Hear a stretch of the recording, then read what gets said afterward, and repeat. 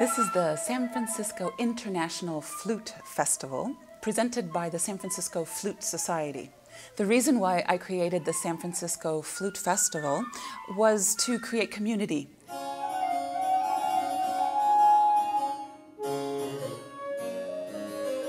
students and teachers and everybody gets together and we learn from each other. The main reason why I did it here in San Jose this time is because all the guest artists who have come in from all over the world to bring in international artists so that we all get exposure to many different opportunities. There's so much great activity um, in this area. Obviously California is a big state so there's lots of flute players and there's a lot of people doing great things on all different levels um, from young flute choirs to professional flute players players to jazz and Latin music. World flutes, Celtic flutes. To piccolo, to beatboxing, to classical flute. Um, so you're going to experience everything and whatever your favorite genre or style or performer is will be here.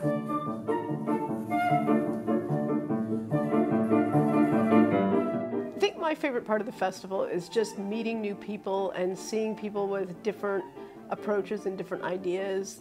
So it's a pleasure being here and sharing good time with uh, good professionals. So what I love is that there's such a mix of some of the younger players um, and adult amateurs, so there's something for everybody really. I think it's important to incorporate all ages. So we have from the little kids, little, little tiny beginners even, but it gives them a, a platform to perform and to showcase and to present and they get excited and they just love performing. Hi. You know, everyone is encouraged to come.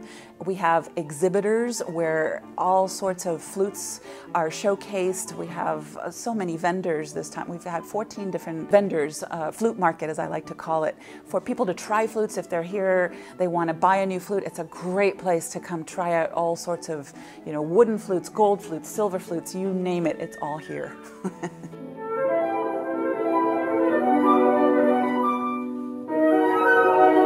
San Francisco Flute Festival, we also offer a variety of workshops. Beatbox workshop, Celtic flute workshop, also um, Baroque flute workshop, jazz, improvisation for classical musicians.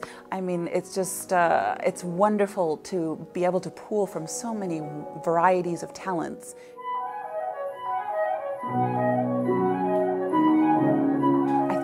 Come to the festival, you will definitely be inspired.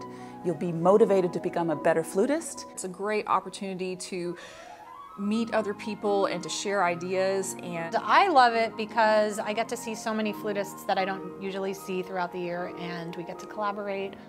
Well, I think anybody who loves the flute should come to the festival. Or even if you're kind of curious about the flute and don't know if you love it or not, you should come and you will totally love it after you're here. But the payoff is when the kids come up to me and say, "Oh, I want to play the flute, and I want to, you know, I when's the next one?" And that's the kind of thing that I, I live for.